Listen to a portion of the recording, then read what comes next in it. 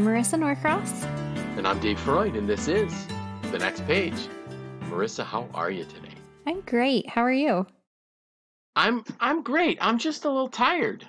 I was where you were yesterday and the day before. Mm. Today I'm feeling a little more energized.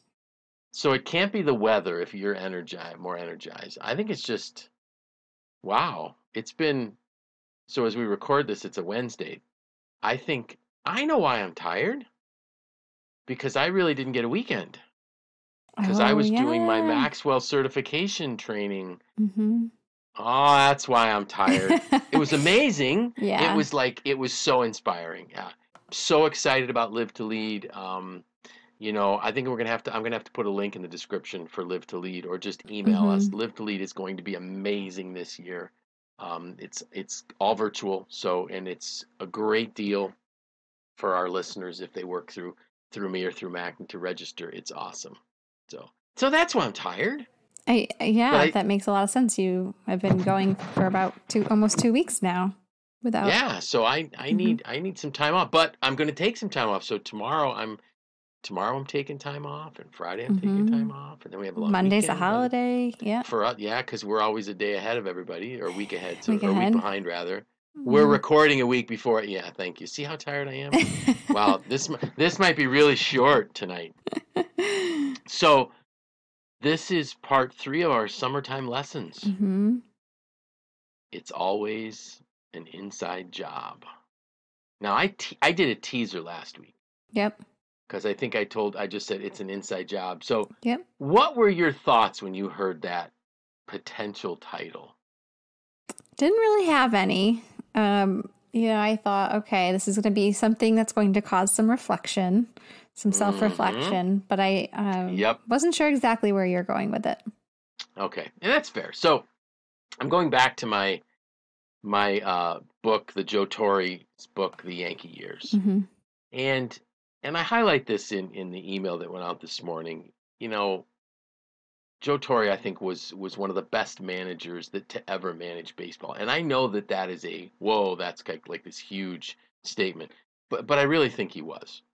Um, and and my reason for saying that was that he quickly was able to build tremendous trust with his team and with the fans and with management and then he that with trust comes commitment and he achieved amazing things. I mean we're talking about four world series championships you know in in in in one the first 7 years he had four world series championships two american league pennants. I mean and and he never he was in the playoffs every year that he was a manager which is incredible. But his best managing was done after they were done winning championships because he was having to manage in a time when there was less and less and less trust. Hmm and when the the organization was beginning to i think spiral out of control where there were different voices saying different things to different people. And and Joe Torre was was struggling to how do I lead? How do I manage in a time when I don't have the say that I once had when I can't pick up the phone and talk to the owner to to reassure him and it literally so if we think about it the Yankees who are still one of these storied franchises is probably it might be the most valuable sports team in the world. I'm thinking. That's just a guess. I don't know that for sure. Um, during the Torre years, I mean, they they went from being you know a million dollars, you know, hundreds of millions of dollars, but still million. Their value of the organization when Torre got there was in the millions. When Torre left, it was in the billions. Wow. So, you know, just their ticket sales. I mean, it's it's incredible what the New York Yankee brand became primarily under I mean, it was always a great brand. You know, um, throughout its history, they've won more World Series than any other baseball team. None of them even come close to winning as many as the Yankees won. But Joe Torre was amazing, and then his leadership at the end, I think, was even the most amazing. So the the the only way to take the Yankees out wasn't to beat them on the diamond.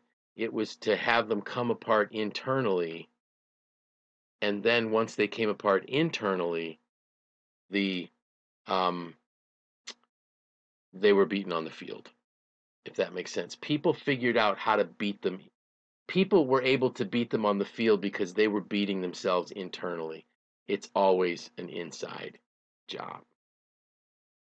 And the lesson from that is it's the same with any of our organizations. Organizations don't fail because of competition. They fail because something happened internally which caused them to not be able to react to competition. So when we're looking at how do we secure our future, look internally. Mm-hmm. Um, and and and then it got me to this thing. So what what what happened to Joe Torre? Well, trust was lost. Why was trust lost? Because there was a character issue within the organization. Joe Torre was the same. He was he communicated the same. He you know, but within the organization there was a character flaw within the senior leadership as as George Steinbrenner. Now this is my assessment, nobody else's. When George Steinbrenner was failing in health, there was a there was a group of I don't know, maybe six people that were making decisions. They weren't making decisions built on trust. There was there were conversations behind closed doors about other people kind of things. And I think that so to me that was the beginning of this this erosion of trust. But here was an interesting thing that I found fascinating. At the end, Joe Torre still had the trust of the bulk of the players, and he still had the trust of the fans. But he still lost his job. And and I know there's a comment in the book. So in Joe Torre's last so what the what the organization would do is they would leak information to the media to put pressure on Joe Torre that he'd have to win, have to win, have to win. And again, he, he went to the playoffs every single year. Even though he had I, I was venting one day at home talking to my boys and I said, you know, you know, I, I can't believe it. They gave him this beat up old Buick and told him to go win World Series championships. You know, you can only drive an old beat up Buick so far. And I think my family was tired of me getting so emotional about the, the breakdown of the team, so to speak. But but in the last and I mentioned I mentioned this in, in my email. In the last game that Joe Torre ever managed, the fans at Yankee Stadium started chanting his name, Joe Torre, Joe Torre. And one of those men behind the curtain, so to speak, was in another broadcast booth or in another in a luxury box watching the game. And when he heard that knowing that they didn't want him back he let loose with an expletive like basically we are in trouble here because mm-hmm. we could lose our fans mm-hmm. so but it was an inside job so now let's make it real to us you know, as an individual, where's my character? There's a there was a book, um, a, a, Harvard Medical School psychologist, uh, I think his name is Steven Berglas, wrote a book called The Success Syndrome. And he said people who achieve great heights but lack bedrock character are destined for one or more of what he calls the four A's arrogance, aloneness, destructive adventure seeking, and he even added adultery as the fourth one. So basically, what that's saying is that unless a person has bedrock character, they can't handle success. Mm-hmm. So then we got to ask ourselves: so how do we know where our character is? You know, because um, leaders have to be bigger on the inside than they do on the outside. It's just that simple. And and and re- if you think about it, leadership is never supposed to be about the leader. It's always about the team. That's a character thing. Um, it's much more than talk, it's how we live. We don't talk about character, we live character. And talent's a gift, but character's a choice. Whenever I do my classes on on identifying your strengths and developing your strengths, I always put a caveat in. If your weakness is character, that's a choice. That's not a giftedness. We choose to be people of character. So then somebody say, so what, what do I need to do? You need to look for cracks. Just look for cracks in your character. You know, what's a crack? Um, when I might when I might take something that's only partially true and stated as a truth. Do I spin things to get my own advantage? That's a character problem. Mm-hmm. Um, do I do I confront reality or do I walk away from it and deny it and make it like it's not real? Um, and then, so for myself, oh, you know, do I have cracks? Am I am I completely honest and transparent in my relationships with people? Not transparent in a way that I mean, but transparent in a way that I would always address an issue rather than just saying, well, it's not that big of a deal. No, it might be. Um, somebody one I had a I had a coaching call with a client and we were talking about an employee that that needed to have some performance issues addressed. And they said, well, you know, I just I like my people and I and and my point is if you really like and value your people, you will address challenges that they have. You don't just sweep it under the rug until it gets so bad you get rid of them. Mm-hmm. Because that's not so that's a character issue. Um, and then I thought we might need to look and see at our organizations. Does our organization have some character cracks? You know, are we holding everyone to the same standards that we need to? Um, those kind of things. Because if we come apart, it's going to be, it's always an inside job. The same thing happens. So I was, and I was, as I was reflecting on this, and I actually put it in my uh, in my post. It's the same thing that happens in a country. You know, if we look at if we look at the the struggles that our country's going through right now, it's a character problem. It's an inside job. The Roman Empire was not conquered by opposing armies. It came apart from the inside out. So that should all make us think, are we, you know, are we are we living values? Are we teaching values? Are we um, you know, values when I talk about values, valuing people, appreciating people for their giftedness, making people working on making people better. You know, what was it? Um, my grandma used to say, if you don't have something nice to say, don't say anything at all. Those kind of things. Mm-hmm. So, and I, I have to say, my grandma lived that. Because at her funeral, the pastor that had her service said, In all of my years of knowing this woman, I never heard her say an unkind word about anyone. Like, wow, that's pretty amazing. Yeah. Wow. But that was her, that she mm-hmm. was that person of character. So I know this sounds kind of heavy. And I even said to you before we started, it's probably going to be a really short podcast, but I think it's something we all need to think about. Mm-hmm. I think it's a, it's a choice. It's a good reminder. And I think now is a good time. I mean, you know, it falls great into our summertime lessons, but if you think even even broader than summer, um, the last several months have mm-hmm. been uh, what feels like hyperspeed.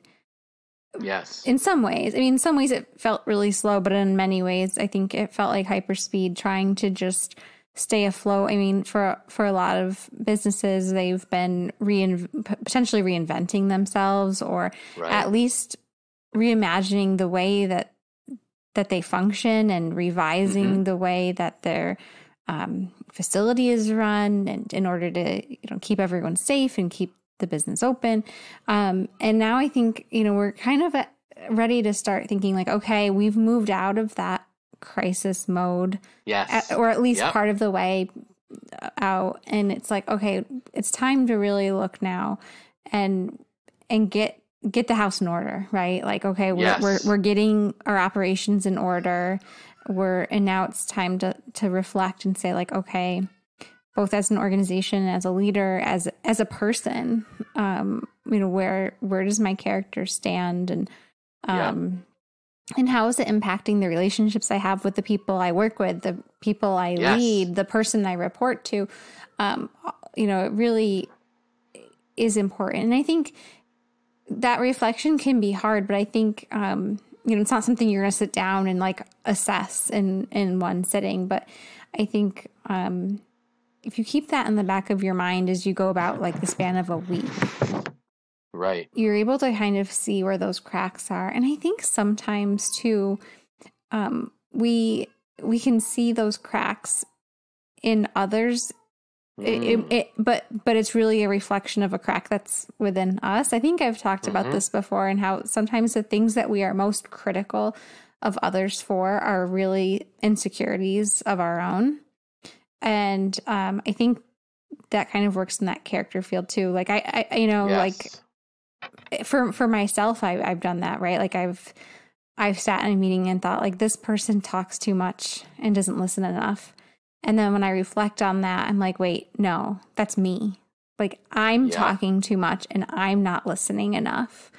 Sure. And I need to address that with myself. Um, and so I, I think, especially, you know, like we're going into back to school, which is going to look different um, mm-hmm. this year. But I think there's always that like fresh start associated with this time of year. Like, okay, the routines are coming back in place, even though they're going to be different routines this year.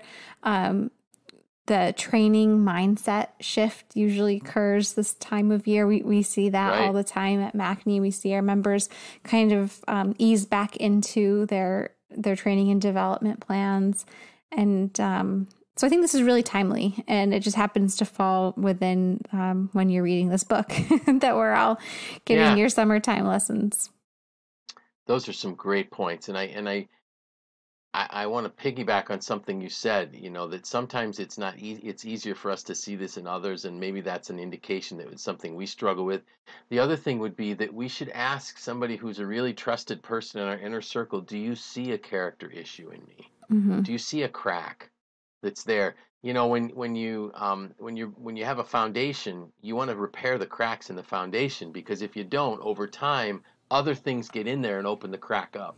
Mm-hmm. Water, things like that, you know, penetrate into it. So the goal is to identify those things early so that we can address them.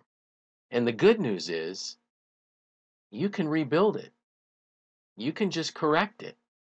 And then once we correct the character problem, once we get that back on track, we can build the trust back up. It takes time, and people can go back. We did some podcasts on the speed of trust, mm-hmm. so you can you can rebuild trust that's been broken. But once your character's back on on a solid footing, the organization will get back on a solid footing. The family will get back on a solid footing. The community will get back on a solid footing. The country will get back on a solid footing. And then we can begin to achieve our purpose, mm-hmm. why we were created and put here in the first place. So it's not a somber thing, it's actually a positive. I think I interrupted you. No, no, no, no, not at all. Okay. Yeah, because I don't want people to think this is this is super negative. It's not.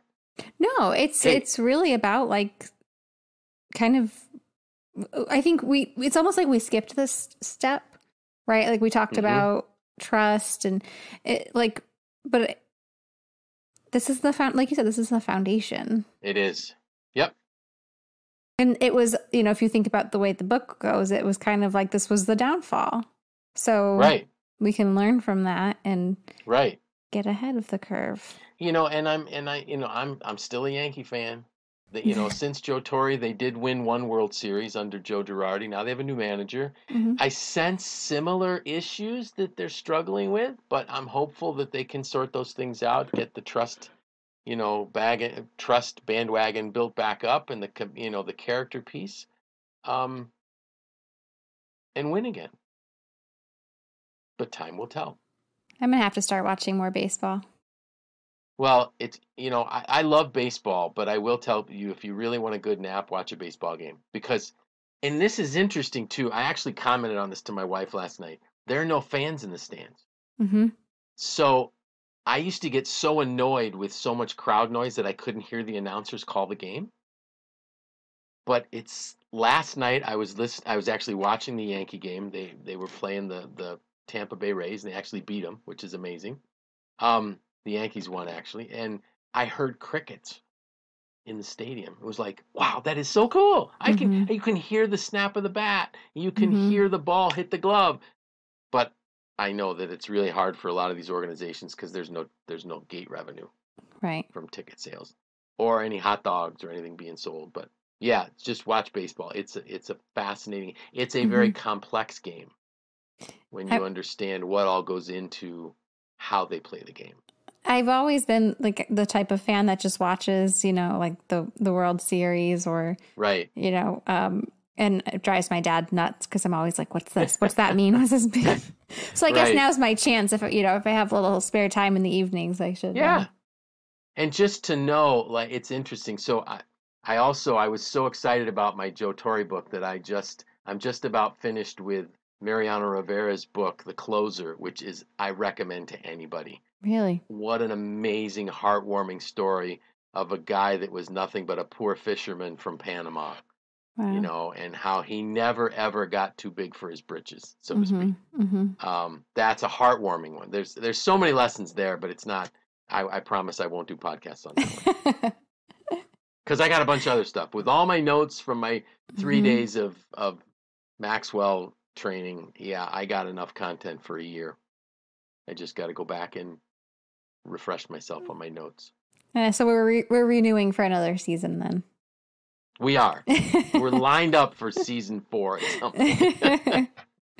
but I'm not sure which one we're going to use next week. So I'm not going to okay. tell anybody because I got a few of them bouncing around. But I do. I just want to remind people: Live to Lead is going to be amazing. You wherever you're listening to this podcast, if you're li- if you're one of our listeners in Spain, you know we're going to put a link in mm-hmm. the description for you to register to Live to Lead because it's virtual for it is virtual for anyone this year. Mm-hmm. They're still doing the live event in Atlanta on October 9th, but we will be able to offer that to you virtually at a discount from anybody else. Um, you know, mm-hmm. you can you can sign up and you can get it for seventy nine bucks. Yeah, I'm really be, I'm, I'm really awesome. excited about it. I think um, it's one thing to say, oh, it's you know, it's a virtual event this year. No, like it's a virtual experience. You know, there's that's great. Yes, there's going to be like chats going on. Yep. There, there's going to be um, a session afterward with you, with me. Yeah, breakout with me afterwards. Right, yes. and um, there's like bonus material. There's all kinds of things um, that we didn't have access to in right. previous years. And, right. um, you know, like this is the circumstance where we're in this year, but there are, I think there's some really great things. We've broken down geographical barriers. The cost has, yes. we've been able to decrease the cost significantly. Dramatically reduce the mm-hmm. cost. Yep. The, you know, the flexibility to attend from, from anywhere, whenever, anywhere to watch replays, to, yep. um, to catch up on some additional bonus footage. Right. I think it's uh, it's really exciting, and I'm I'm yeah. excited about it. I'm looking forward to it. What I really like, Marisa, is that, that the folks that wa- that that buy a ticket will have access to the materials for a full 72 hours. Mm-hmm. Whereas before, once Live to Lead was done, you couldn't watch it again. Right. You know, um, and now you can for set for three days, which is mm-hmm. really super. So we're going to talk about it every week mm-hmm. between now and October 9th. But really, people need to take advantage of it. It is it's going to be my sixth Live to Lead, and every year I walk away so filled to overflowing with with ideas and encouragement and and actionable things you can do to make to accelerate your growth journey. And great speakers. I can't wait. Alan Mulally, Kat Cole, um, mm-hmm. um, Steve is Steve Harvey. Steve Harvey, yes. Yeah. And Craig Groeschel, um, former NFL player. Um, it's going to be amazing. Mm-hmm. So, any any special plans for the weekend? No, not really. Just uh, okay. Things are winding down with summer. Summer's winding down. My yeah. girls are um, looking forward to what they are calling spooky season. Oh, that's right. You know, I thought of your girls as I went into Lowe's the other night, and spooky season was all over the front of the store. Yes, yes. And this year, there, I just learned yesterday of um, a new event that's being put on by the the Lights on the Lake people and the Fright Nights people. Mm. They're doing like a drive through um kind of it's it reminds me a lot of like the format of Lights on the Lake, but it's at Jamesville Beach. And okay. um I, I already bought our ticket for the you stay in your car so you don't have to worry about masks or Full anything like that. Full social distancing. You stay in your own car and you go through and um, they're gonna love it. They are Great. they're gonna love that. Yeah. Super. Can't wait. All right. So, with that, I'm Dave Freund. I'm Marisa Norcross. And this was The Next Page.